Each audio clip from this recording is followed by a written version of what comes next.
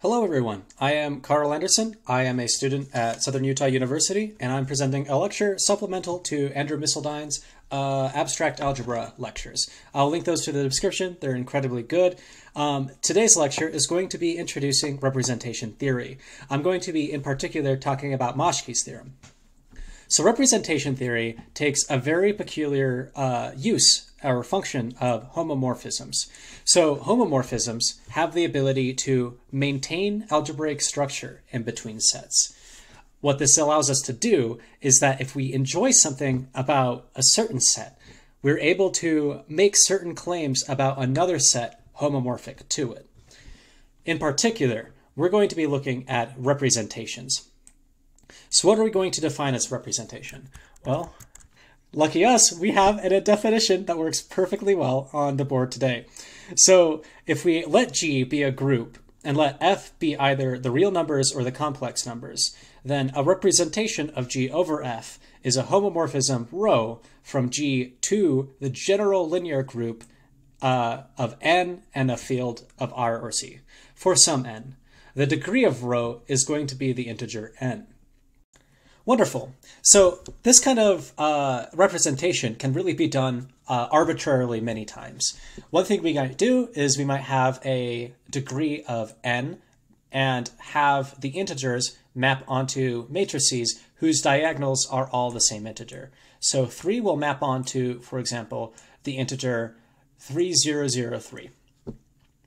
Pretty simple. We might also just simply have a um, map that goes directly to the identity. So um, anything in any group automatically is represented by the single identity 1001. So we can see that we have many different representations we can choose. We want to be a little bit more careful, though, about which ones we choose, right? We want certain kinds of properties to immediately be evident with our choice. So rather than choosing these, what can we do to ensure that we choose a representation that's going to be especially useful? So one thing we can do is we can work under a certain kind of module. So we're going to define a module. We're going to borrow this word from ring theory, uh, which we don't really need to get into the weeds right now. Suffice to say, a module is going to be a weaker form of a subspace. Um, if we define an FG module as a vector space of F and of uh, group G, such that G cross V um, returns back to the vector space with these following properties. The first property uh, is we can take any member of the group and put it inside the vector space as well. Uh, we are able to do associativity over the members of the group. Uh, there is an identity element. Um, for any kind of scalar in the field, the scalar also has associativity. And finally, there's a distribution property in the multiplication. One really, really cool thing that we were able to do with this, and it's going to be kind of the backbone to our search into Maschke's theorem, is the fact that we can make submodules of these. So a subset W of the vector space V is going to be a submodule if W is a subspace and W also is closed under the group. Um, that is, the group members times a uh, vector inside of W will always be in W as well. Uh, an important kind of detail to this is the fact that we always have the trivial submodule as well as the improper submodule, right? Um, we are able to have V be its own submodule and the identity will always be a submodule within this. Um, if these are the only two submodules, then we're going to call V an irreducible uh, module. Okay, great. So let's take uh, definition 4.2 and 3.1 and marry them together. So how do we get representations into our FG modules? Well, uh, if we look at 3 and 4.4 here, we're able to see that it takes actually quite a little bit of uh, definition. And I don't mean a little bit in the sense of um, sarcastically. I mean it in the sense of we genuinely only need to define a little bit more we only need to define multiplication GV by the rule that GV equals a representation rho of G times V. Um, in other words, it's when each element in G equals its representation, uh, in which case we've guaranteed an FG module. So let's go ahead and prove this. So taking a look at this, all we're going to do is essentially add the little rho at the start of each of our main clauses here. So what we're now saying is that rho of g times v is in the vector space, which makes total sense. Rho of g, as we've defined, is going to be uh, into the general linear space. And so we got that covered. Likewise here, uh, rho of g and rho of g here are going to all be vectors, so they're going to be close under uh, associativity.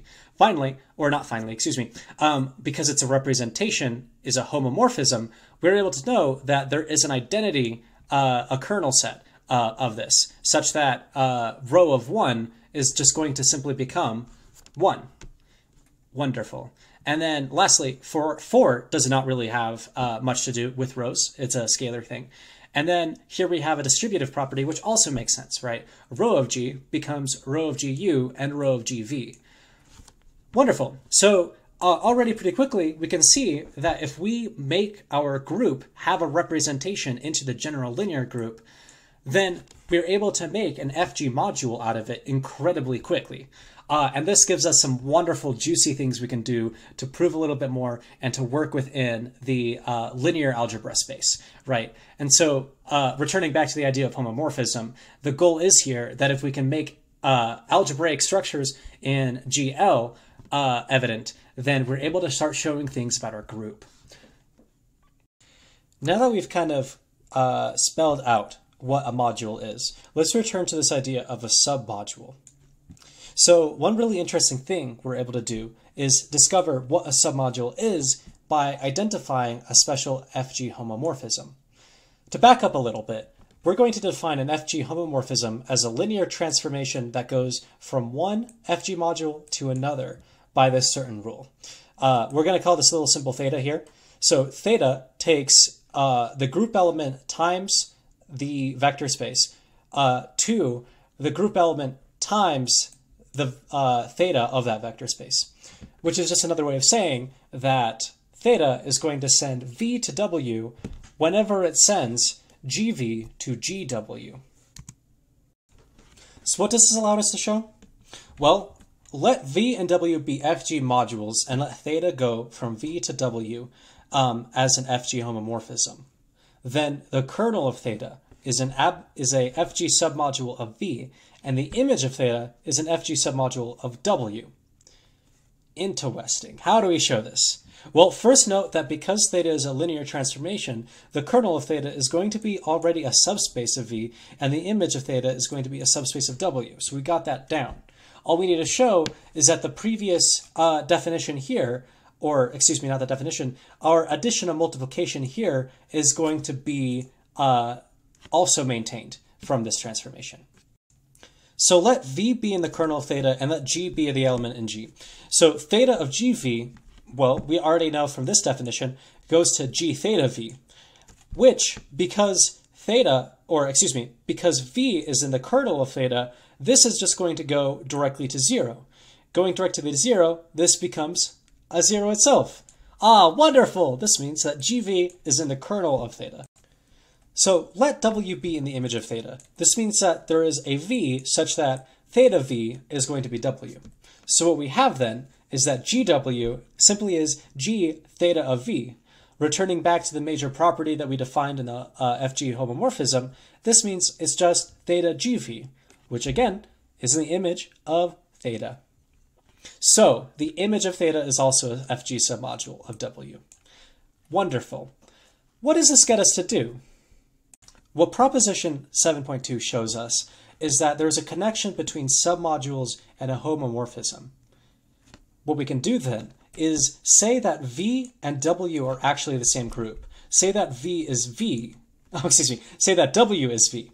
Then what we have is an endomorphism, and what we end up having is that the kernel and the image are both going to be submodules of V. Furthermore, we're going to try to show that there is an excellent property between these two that allows us to say a lot about V. And in do so in so doing, allows us to say a lot about the original group we started with. Enter Maschke's theorem. I'm going to skip directly to Maschke's theorem. We're going to need a couple lemmas, though, that I'll come back to. So let G be a finite group, and let F be either the real numbers or the complex numbers, and let V be an FG submodule. Then, if U is an FG submodule of V, there exists a FG submodule W of V such that V is going to be the direct sum of U and W. A direct sum meaning that for every vector in V, uh, there is a unique uh, sum of vector of a vector in U and a vector in W that produces this.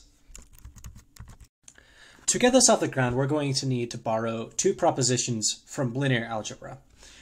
Proposition 2.29 is going to say, suppose that V is a direct sum of the vector spaces U and W, and let pi be a uh, function, a mapping, excuse me, from V to V by the rule pi of U plus V equals U for all U in U and W in W.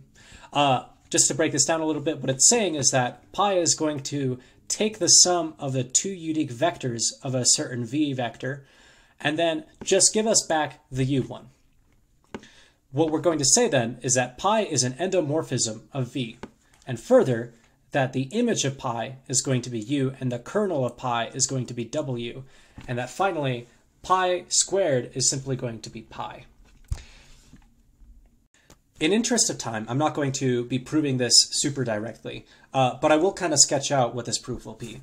So first, we can note that because only vectors in U are going to be established from pi, that everything in V that had to do with W will be cut out.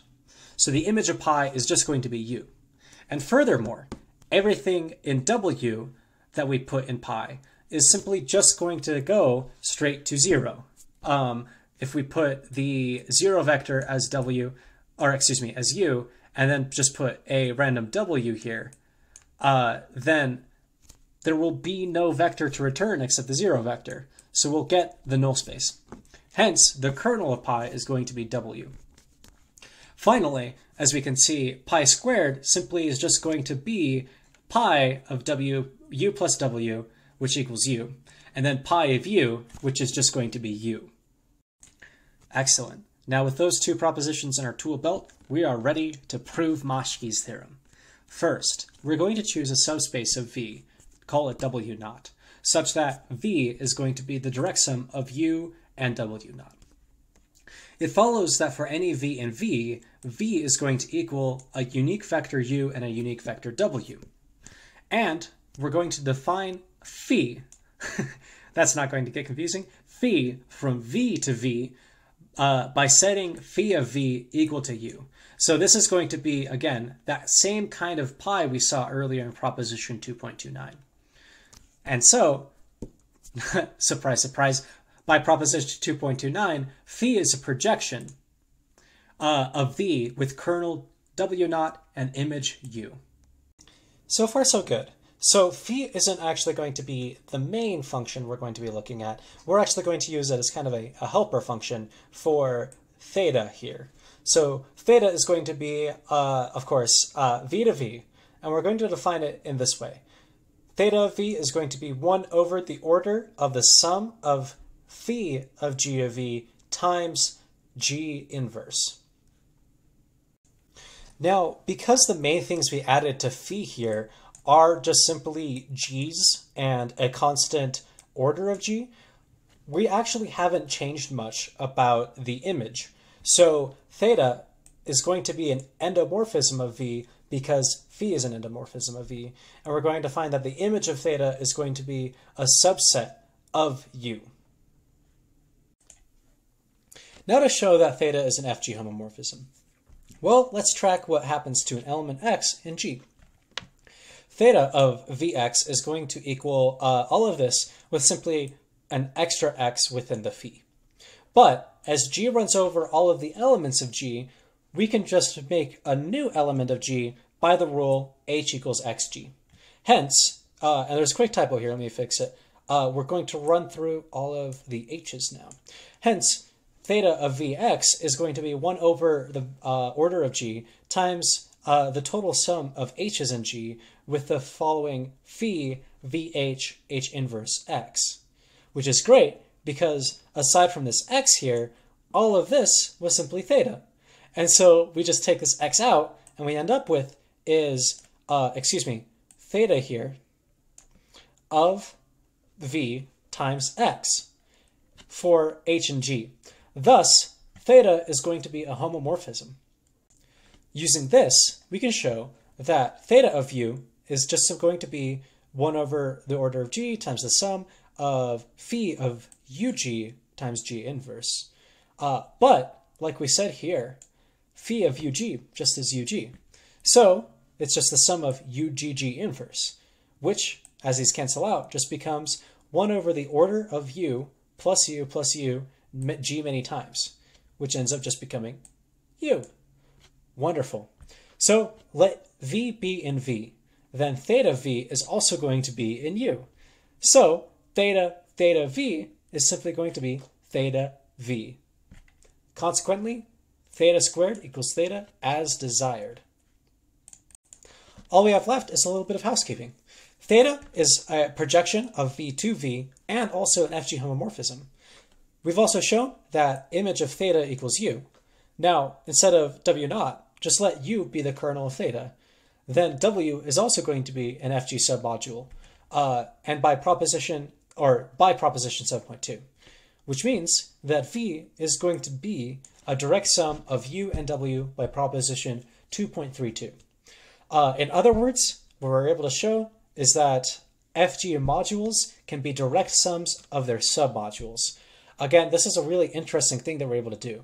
Uh, if we're interested in studying a single group, we're instead able to study a little bit of linear algebra, and we're able not only just to study a certain module, but a module made up of fundamental building blocks of submodules, uh, which I think is really cool. There's a lot of fascinating things we can do with this, uh, but at this point, I don't know what I'm talking about. So you'll have to wait for the next lecturer to come along and resolve more about representation theory. Uh, of course, again, let me thank uh, Dr. Misseldine for helping me develop this video. Uh, I developed a lot of this off of the textbook representation, representation and character groups. I will link it to this in the description. Uh, and yeah, thank you for your time.